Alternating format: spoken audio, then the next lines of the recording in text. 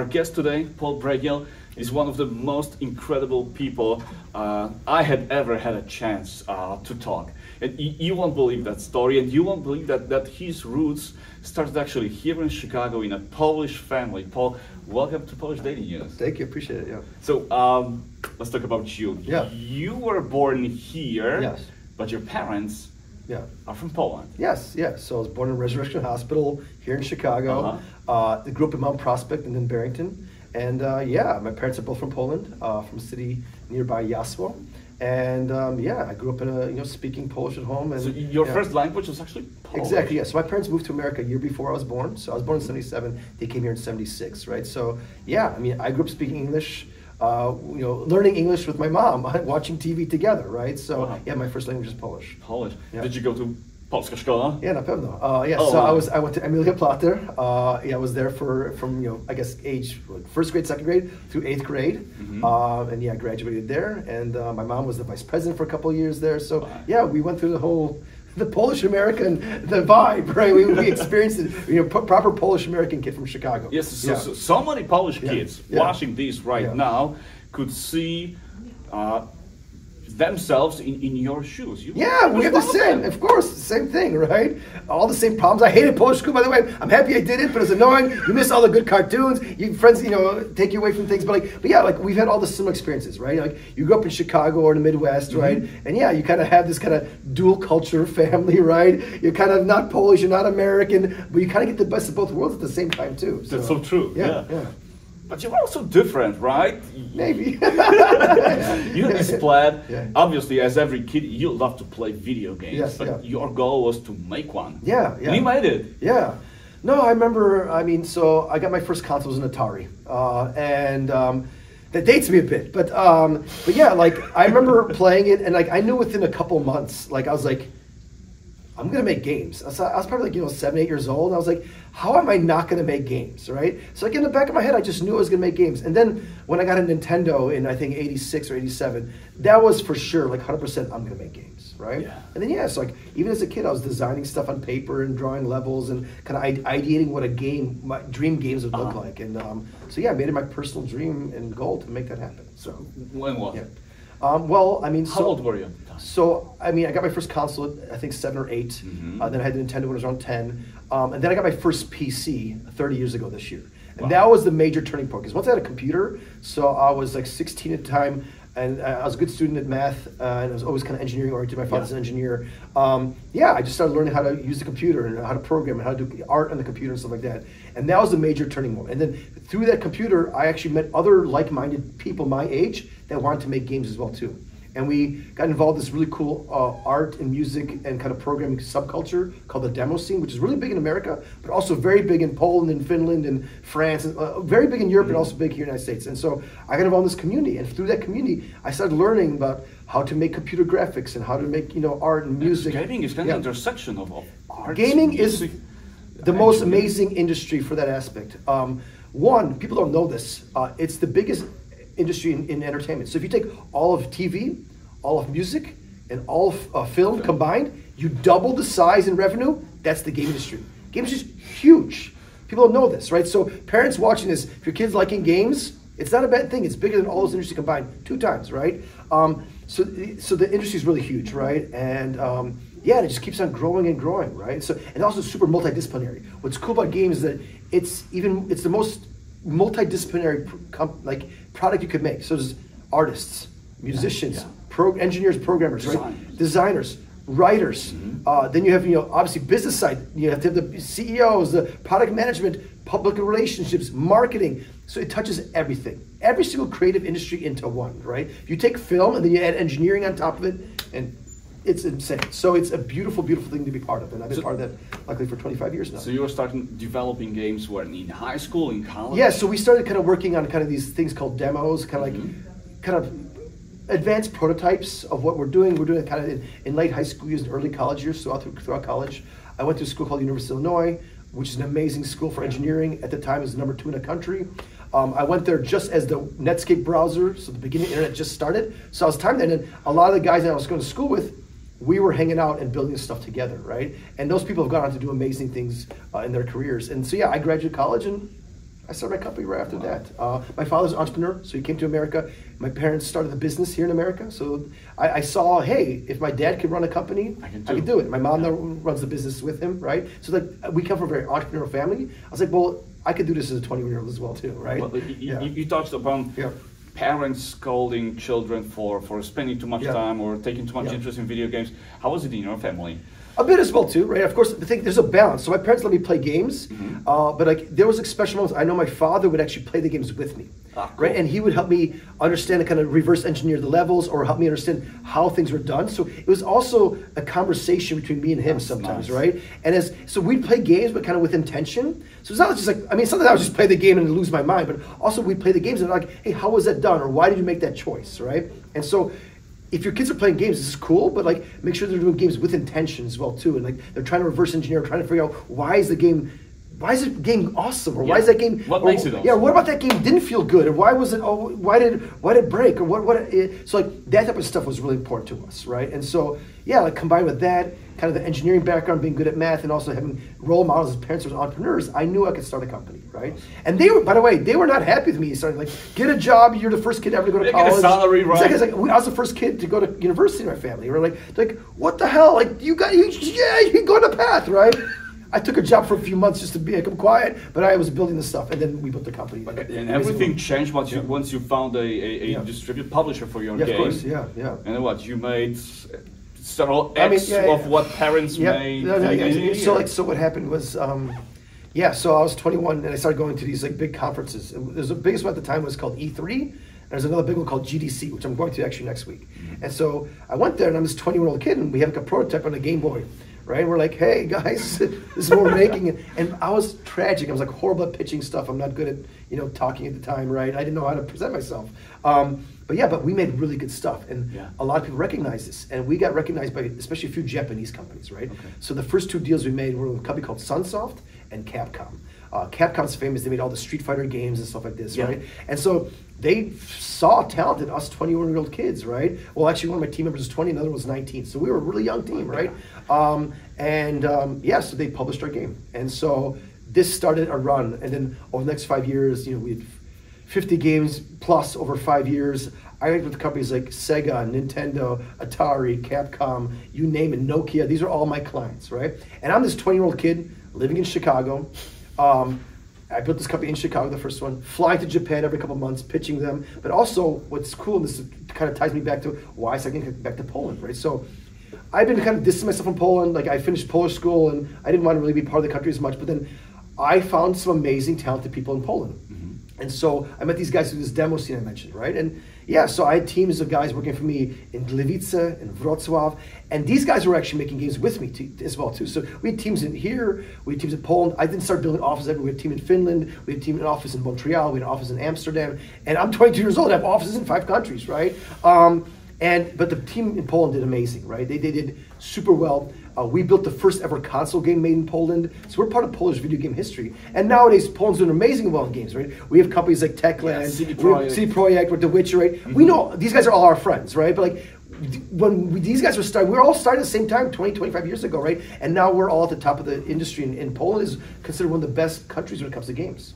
And I feel part of that history. I'm really proud of that. That's awesome. Yeah. You actually started what? Four companies? I started three companies uh, as an entrepreneur, and then I have many investment funds. Yeah. and those are companies too, but that's a little different story. So yeah, So you sold a successful business. yes, yes, yeah. I sold two of the three companies. Yeah, and that money got invested through Yeah. VCs that you set up. Yeah, so I was, this is what, 13, no, 15 years ago now, so 2009. Um, I had sold my company. Uh, I sold the company in 2010, but in 2009, I was kind of doing a lot of community stuff and I was kind of looking at investing things? Because I had some money that I could invest in.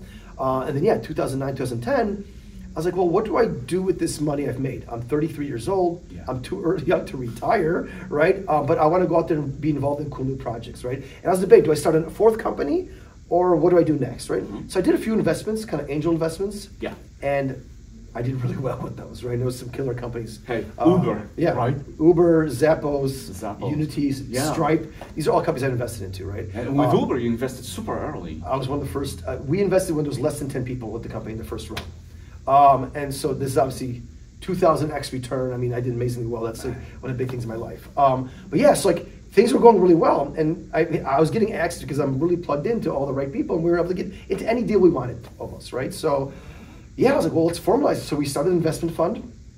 Um, I teamed up with a couple of my friends, um, and then also my brother Dan. So my brother Dan, we built every company together. So we're a team, right? And so me and him started this fund with three of my friends. So my friend Ashwin, he started a company called BitTorrent. My friend Aber, it started MySpace. My friend Jim, he started a company called HotOrNot.com. My friend Steve, who from college, another Chicago American guy, Chicago-based uh, Taiwanese American guy, started YouTube. So we combined our personal money and we started investing. Uh, in the United States, with them, we done 50 deals. Me and my brother done probably another 100 deals with our own fund. It's our fund's called Bragiel Brothers.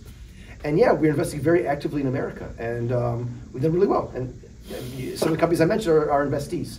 Um, and that's kind of yeah, we're really. How, how, did you meet those people? You obviously moved to to yeah. uh, Silicon Valley. Yeah.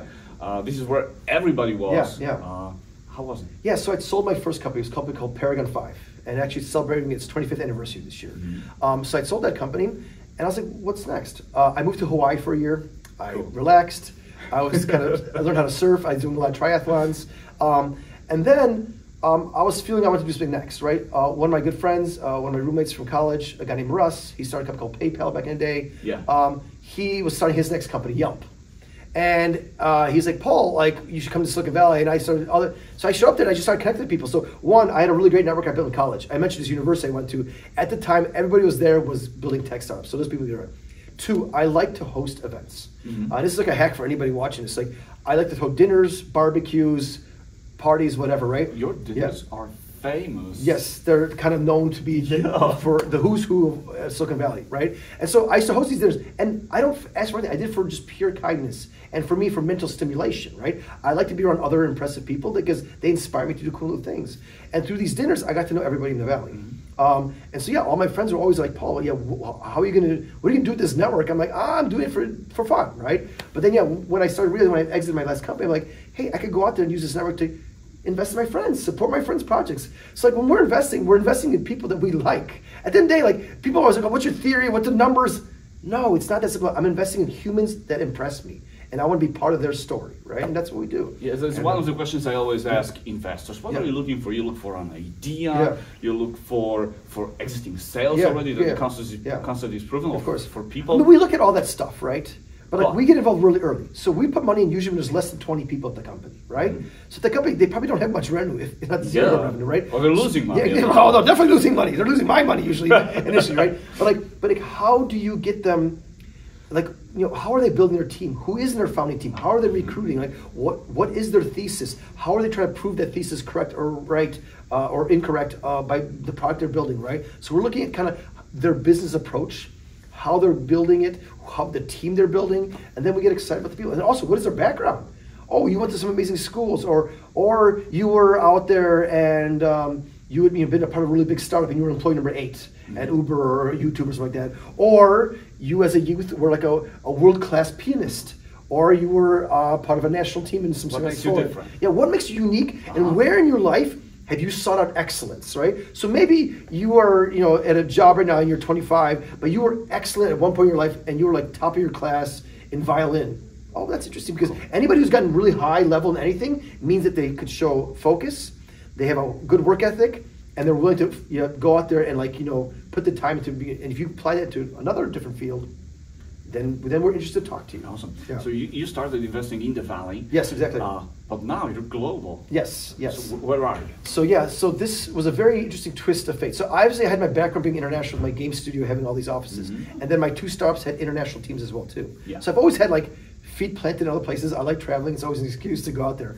Um, but yeah, it started as accelerator, as I mentioned, uh, this fund with my brother and my friends, mm-hmm. um, and. Um, we, we did a really big splash, and people obviously knew. It was one of the first accelerators yeah. it was, in San Fran. Exa- it was the first one in San Francisco, and one of the first five in the whole world. So we helped wow. pioneer the model. So if you heard the word accelerator, we helped start that model. Mm-hmm. Um, and um, yeah, so interesting twist of fate is the government started coming to us and saying, "Can you teach us how you're doing this? Because we'd like to build something like that in their respective countries." Government. Governments like top level, prime minister, minister of finance level, right?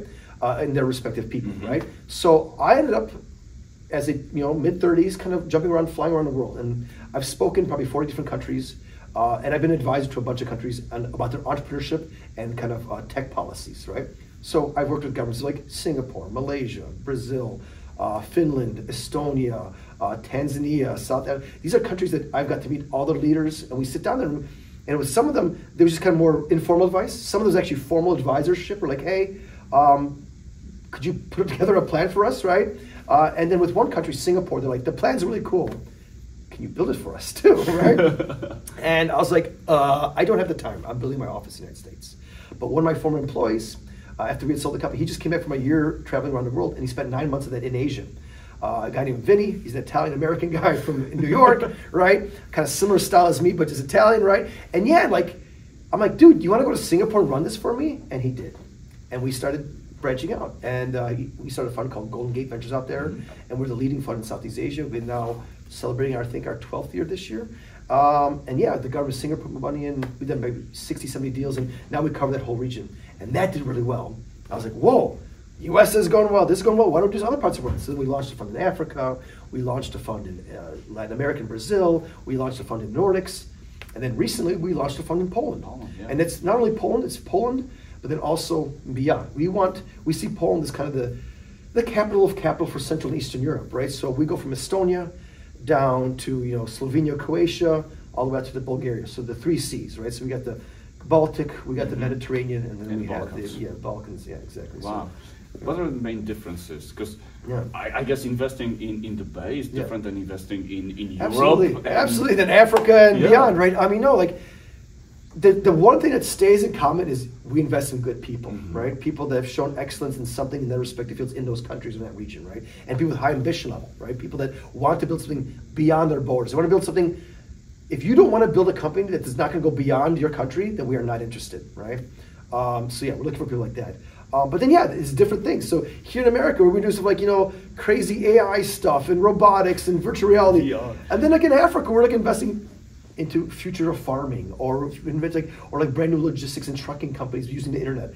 Everything has to have internet capability, right? It has to be you know really leverage the power of the internet and computer science. Um, we don't like to do large, like, you know, we don't do like real estate deals. We don't do like high capex. Like if you want me twenty million dollars to build a factory, we don't do that. Yeah. But we'll help you build a software around that that runs a beautiful factory, right? So like Amazon in the beginning didn't have factories. They have them nowadays, warehouses, but but they, it's more the software, right? And also Amazon. The reason why it's so highly priced is Amazon Web Services. Exactly. They're, they're hosting, right? So we love stuff like that. So we power empower people that want to build amazing things for the internet, right? And yeah, it's and it writes everything, like I said, from self-driving cars, which we have a couple self-driving car companies are in, to yeah, like fintech, brand new banking software, to yeah, somebody trying to go out there and disrupt, you know, fish farming, stuff like this. So how yeah. is Poland doing in that spectrum? Poland's doing great. So Poland historically startup scene was kind of slow because. Polish people were kind of shy. Yeah. So after you know communism fell, we're like everyone's like just hoping to get a job. Yeah. Right? Are we good enough? Yeah, exactly. We always had this kind of self doubt, which, by the way, I have too. As a mm. Polish American kid, you got you that do? as well. Really? Of course, still to this day. Not as much, but you always yeah. have this kind of self doubt, right? Um, you always like, do I fit in, right? And Poland has kind of has that a little bit of that vibe, like kind of like the younger brother mm-hmm. syndrome in Europe, right? That has changed, right? So, um, you know, about 10, 15 years ago, I started seeing the first generation of kind of Polish entrepreneurs coming to America. Uh, two of my closest friends from Poland were the kind of first generation. They moved to Silicon Valley. This was crazy. 2008, 9, 10, they moved to America and they tried to build business in America. This was a huge step, right? Uh, one guy is named Marek. He started Virtual Polska. This was his next company. Another guy named Marcin. He started a company called Telewise, was public in the Warsaw Stock Exchange, right? And these guys took the first steps, right? And they did pretty well. And then now there's been a whole generation of people coming after them. And uh, so now the confidence picked up, right? And if you talk to anybody my age, there's still a little bit of that, right? If you talk to someone like 30 years old and younger. Those people born in free Poland. Yeah, they're born in free, or, or, or they don't remember it, right? And, you know, they, they were under 10 years old when it yeah. fell down, right? And like, they're international, they travel, they speak English well, like, they feel comfortable in the European society. These entrepreneurs are doing great because one, we still have this amazing engineering society, right? Like, so Poland produces amazing engineers. Our math and sciences are great. So we still have that, but then now also we have the international kind of confidence, right? Mm-hmm. And so in the last five years, I've seen an explosion of cool Polish startups. So for me, I've been looking about starting a fund in Poland for years, but I didn't find the right time, and also I didn't have the right partner, right? So um, I have an amazing partner, a guy named Boris. Uh, Boris is my co-founder at Smok, along with my brother Dan and my partner Diana. And we, we built this fund because we want to go out there and empower these people, right? And Boris is part of that kind of first generation of entrepreneurs that are kind of between both worlds. And I helped sell his company funny enough, to my business partner, right? So like, it's the world's small. You have to have connections, right? And so Boris got acquired by this company called Samba, he built their Polish studio. And he ramped it up, and, and they actually fired all their Silicon Valley engineers, and they have all the engineering done in Poland now. That's how amazing job Boris did, right? And so once Boris was there for you know four or five years, I pulled him out, and we partnered up, and we did Smok together. And yeah, our goal now is to invest in Polish Americans, Polish people, anybody with Polish diaspora connections, and obviously also greater Central and Eastern Europe, because we really believe that this is the growing part of Europe. So you go to Western Europe, you know, France, Spain, you know, they got Italy, they got great lives, but they're not as hard engineering focused as Poland. Germany's pretty good, but they kind of big market, they kind of stay there. Yeah. But Poland is the growing part of Europe. Central Eastern. Europe, we, we, we call uh, in the kind of in, in inter, inter, not even Poland, like in international circles, they call Central Eastern Europe emerging Europe, the Europe that's growing the fastest, right? And Poland, to, I'm sure a lot of you know, like it's the only country that has not had only had only had one down year economy Yeah. since 1990, and that's because of pandemic. huge every single year, every single year, we grow two to five percent. Yep. It's a crazy growth story. And so I encourage all Polish American kids, like if you're like me, born here, and your Polish is, you know, trochę słabe, but like you could still show up. People are going to embrace you, right? There's a really lot of opportunities to go between the, those two worlds, Europe, aka Poland, and America and beyond. And I think it's easier to talk to a Polish engineer versus uh, Indian engineer. No, of course. I mean, it's it's it's not. It's it's probably it's culturally. Not, not even, Cultural, yeah. not even if you're Polish. As Americans, like a lot of Polish kids grew up idolizing America, and I think they still do, right? And we all watched. You know, they all watch the same cartoons. They watch the same movies. Yes. They play the same games. So it's, there's like a very close cultural connection, right? And then obviously, you know, you have some of the old, you know, kind of just family stuff around it too, right? So it's much easier to talk to somebody back home than it is maybe somebody in China, India, and you can still. And I still have offices and, and work with people in those countries too. But it's even easier to talk to a Polish or another East, like You a Czech Republic or a. Croatian guy. Like, yeah, you're like you have just a lot more cultural relevance because. Uh-huh. And you can also reference stuff. You're like, hey, do you do that on Easter? Yeah, yeah, we have the same thing. and yeah, and so like it's, it's it's like this kind of connection that really helps. Yeah. So, yeah. Perfect. What are some of the projects that you're working on right now? We we spoke about Yeah. your involvement with sports. Yes, yeah. But in terms of investment, Yeah, what yeah. are some like some of the most exciting things that you're doing? Well, I mean, like the big push right now is we're trying to scale. So our fund in Poland is called Smok Ventures, like you know Wawelski Smok Mm-hmm. In Krakow. Uh, in Krakow, uh, office in Warsaw actually, but I love the I love the bike uh, right. So, Yeah. um, but um, yeah, so we're scaling that up right now. So Mm-hmm. our first one was focused only on Poland. Our second fund, we, which we, we're closing right now. So we closed the first part. We're you know still gathering more money. So we're getting the last bits of money there. Uh, and then two, uh, we want to expand it across the region. So now we've done investments in Estonia, Latvia, Croatia, and Czech Republic, right? Wow. So yeah, so now we're trying to expand across and Bulgaria. We just about sign the Bulgarian deal. So now we're trying to go out there and make it large. So that's something we're very focused on, right? So that's more kind of comp fund level, and that's like individual companies, right? Uh, besides that, you know, we're looking obviously a lot of cool game companies. Uh, one of my other funds is the first ever fund that only focuses on video game companies within over 80 investments in game stuff. Wow. So we're, we're scaling that up big time. We're accepting investors for that as well right now. Um, and then, yeah, we're also looking to go out there and get involved in a lot of cool AI stuff, right? Because AI is touching everything. So, um, yeah, we're excited about the future. We always are. Uh, and then I still, you know, excited to be working with great entrepreneurs. Also, always very excited to be, you know, working with great institutions and investors to kind of invest through us and stuff like that. Yeah. Have you ever failed at anything? People say Of course. fail early, fail Of often, and fail no, smart. No, my, I mean, my second company, right? So I built a game company. I was successful there. The second one, the reason why I moved to Silicon Valley was to build a social network, right? So, Okay. um, 2004, uh, there was a company called MySpace had launched. Facebook was only on college campuses, and I was like, I could do something like this. So we built a company called Meetro. It was one of the world's first social networks. It failed. Got my punch in the face. It was a great learning experience. The people that worked for me, I still work with almost all those people. Wow. Um, there's people who got to do amazing things. Like the the the, uh, the alumni of that company are spectacular globally. Uh, but yeah, I failed that. Also, by the way, we invest, I'd say two out of ten do well. Eight out of ten of our companies fail. Really? Oh, it's a huge, it's, Spread? it's a Wow. huge spread, right? So we also are very high risk takers, right? So we want every company to be a potential billion dollar outcome, right? Mm-hmm. So we take we take risky bets. So most don't make that, right? Many will go Psh, and just fail, right? Now, if we were investing in kind of like, okay, you want to go out there and start like a hairdresser or start like a, a flower shop, yeah, that's easier. But like when you're going, when you're trying to hit a home run, You take a really hard swing Yeah, yeah, yeah, I mean, it's, it's- you're not even going for doubles or singles or triples. You're, Yeah. trying, you're going to s- strike out a lot, right? So like we strike out a lot, right? but also when we hit it, it's spectacular. It goes. And then you're in companies like, you know, like Uber, it was like 150 billion dollar plus valuation, strike 50 billion dollars. Like you need 20. I mean, these are companies like in the tens, if not hundreds of billions of dollars that we've invested into when they're less than 10 million dollar valuations. So like we're able to get these companies early, and we go great. But we have a lot of dead bodies too.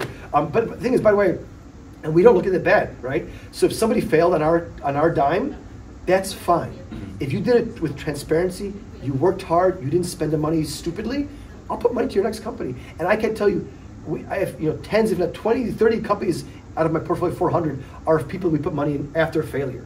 So this is an important thing to know. Like failure is not bad as long as you did it nicely. And when I say it nicely, it's like you were hardworking, you were transparent, and you didn't spend the money doing stupid shit. If you did that, I'll talk to you. I'll talk to you to the rest of your life, right? As long as you don't do it improperly. Now, if you did other things, you quit early, you were weak, you spent the money dumb, mm, you're not in my good different books. story. Yeah, right? exactly. Yeah. Yeah. Yeah. I- can say that the sun never sets on your This ventures. yes, You're yeah, around the globe. yeah. You control so much. You're involved with so many things. How does your day look like? when do you wake Yeah, up? And yeah. what's the first thing you do? You, you Yeah. call somebody in Yeah. Asia and say how, how yeah, yeah. things were there? So I wake up. I mean, I'm in. uh, We have 14 offices around the world. Yeah. Right. Um, so I'm, I'm flying around the offices. I'm probably in the United States maybe two, three months out of the year. Um, I'm still here in Chicago quite regularly to visit my parents. Mhm. Um, I, my brother's in San Francisco, my brother's in LA, so I kind of hang out with them as well. Um, I, I say in Europe, I spend most of my time in Helsinki and in Warsaw. Uh, these are kind of like my big offices there, and also places I really love. and I feel kind of like second homes. Uh, I spend a lot of time in Asia and Tokyo, especially because I love Japan. Uh, but then otherwise, I'm also meeting my kind of secondary offices, which are kind of like offshoots of the bigger ones, right? Yeah. Um, but yeah, I wake up in the morning. First thing I do, go. what, what time do you wake up?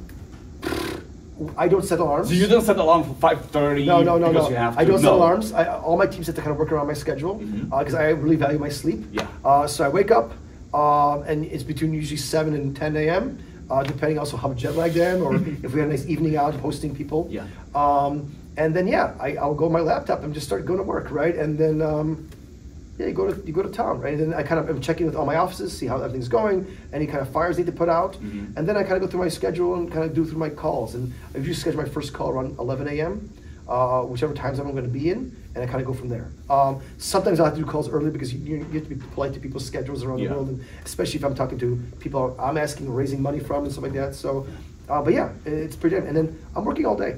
Like I don't really turn off. Like I'm writing emails and working. You're a high frequency guy. yeah, I mean, like tell. for me, like my life is my work. It's all connected, Uh-huh. right? And I love it, right? It's like I don't see any bad side to it, right? Uh, and then in my personal life, I also pull a lot of people that I'm with into my work stuff as well too, because people always want to be part of fun projects. You're So having fun on top of that. I'm saying this is at the end of the day, it's a dream job I built. Like I built this job for myself, and it's exactly what I want. So it's, Awesome. it makes me happy every day. Great. Yeah. Paul Bragiel.